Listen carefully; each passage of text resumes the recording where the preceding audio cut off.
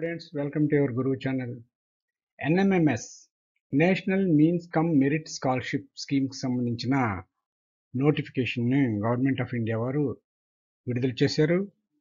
ఈ NMMS exam రెండు వేల ఇరవై రెండు ఇరవై మూడు విద్యా సంవత్సరానికి సంబంధించి ఈ ఎలిజిబిలిటీస్ గైడ్ లైన్స్ అదేవిధంగా డ్యూ డేట్స్ ఏ విధంగా ఉన్నాయనేది నేను ఇప్పుడు మీకు డీటెయిల్డ్గా వివరించడం జరుగుతుంది.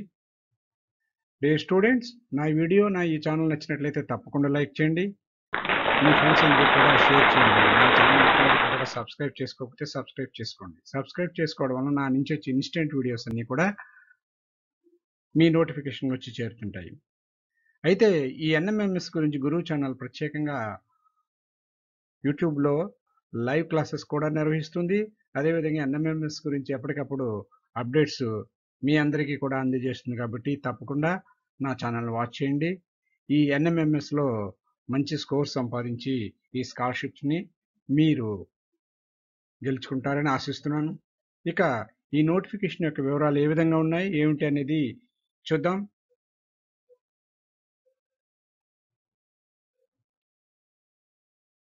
ఇది ఎలిజిబిలిటీస్ ఎవరు అప్లై చేయాలి ఏమిటి అనేది చూద్దాం. National mean cum merit scholarship scheme examination for academic year two thousand twenty two twenty త్రీకి చూసినట్లయితే ఈ విధంగా ఉండాలి. Scored at least fifty five percent of marks in case of OC BC and fifty percent of marks in case of SC ST or equivalent grade. That is B plus for all categories in class seventh examination in class 7th examination studying during the year 2021-22 ఈ examination వచ్చి ఇప్పుడు present academic ఇయర్లో eighth class చదువుతున్న వాళ్ళు రాయవలసిన అవసరం ఉంటుంది. అయితే వీరికి సెవెంత్ క్లాస్ ఎగ్జామినేషన్లో లాస్ట్ ఇయర్ సెవెంత్ క్లాస్ ఎగ్జామినేషన్లో ఎస్సీ ఎస్టీకి అయితే ఫిఫ్టీ పర్సెంట్ మార్క్స్ వచ్చి ఉండాలి. అదే బీసీకి ఓసీకి అయితే ఫిఫ్టీ ఫైవ్ మార్క్స్ వచ్చి ఉండాలి. ఇక గ్రేడ్ల ప్రకారం చూసుకున్నట్లయితే ఎవరికైనా సరే అంటే ఎస్సీ ఎస్టీ బీసీ ఓసీ ఎవరికైనా సరే బీ ప్లస్ గ్రేడ్ వచ్చి ఉండాలి. ఇది ఫస్ట్ ఎలిజిబిలిటీ. ఈ ఎలిజిబిలిటీ ఉంటే మనం ఈ ఎగ్జామ్కి అటెండ్ అవ్వచ్చు. Next studying in government local body. ZP municipality government aided AP model day scholar only. And MP UP అంటే యూపీ స్కూల్స్లో ఎయిత్ క్లాస్ రన్ అవుతున్న వాళ్ళు కూడా ఈ ఎగ్జామ్కి అటెండ్ అవ్వచ్చు.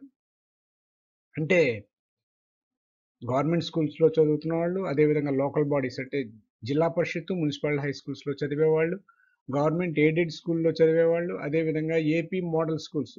వీళ్ళు ప్రత్యేకంగా ఏంటంటే డే స్కాలర్స్ అయి ఉండాలి. వారు మాత్రమే ఎలిజిబిలిటీ. అదేవిధంగా MP UP school upper primary school eighth class వరకు రన్ అవుతున్న స్కూల్స్లో చదువుతున్న విద్యార్థులు దీనికి ఎలిజిబిలిటీ అవుతుంది. ఇది సెకండ్ ఎలిజిబిలిటీ. నెక్స్ట్ ఎలిజిబిలిటీ కానీ చూసినట్లయితే ఈ విధంగా ఉంటుంది. చూడండి.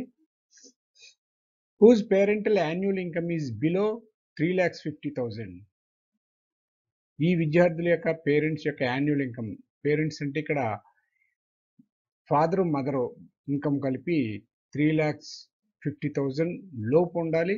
For all source for which candidates having to produce the latest original annual income certificate issued by the MRO in case of private employees and certified certificate issued by the employer in case of government employee ఇది employee కాని వాళ్ళు అయితే MRO గారు ఈ income certificate ఇవ్వాలి. అదే private employee అయినా government employee అయినా సరే వీళ్ళకి వా ఎంప్లాయరు అంటే ఈ ఉద్యోగం ఎవరైతే ఇచ్చారో వాళ్ళ ఎంప్లాయరు ఇవ్వాల్సి ఉంటుంది.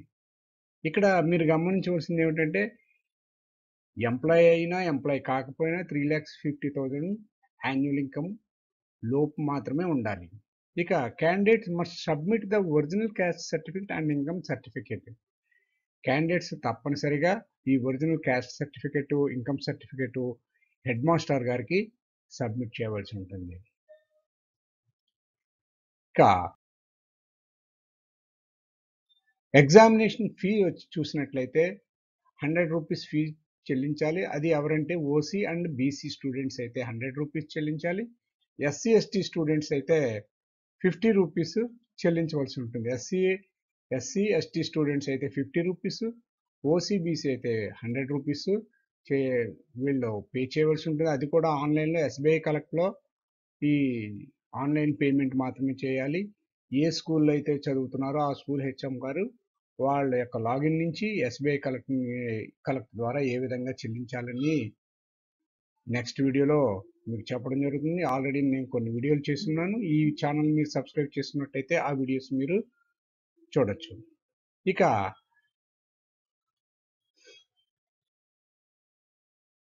Due dates. డ్యూ డేట్స్ అనేవి చాలా ఇంపార్టెంట్. ఇవి నోట్ చేసుకోవాల్సిన అవసరం మనకు ఎంతైనా ఉంది. ఎందువల్లంటే దీన్ని బట్టి మనం ప్రిపరేషన్ ఏ విధంగా చేసుకోవాలని ఒక ప్లాన్ చేసుకోవచ్చు.